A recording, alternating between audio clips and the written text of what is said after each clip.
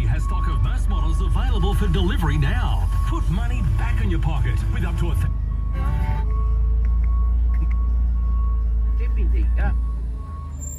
Mm.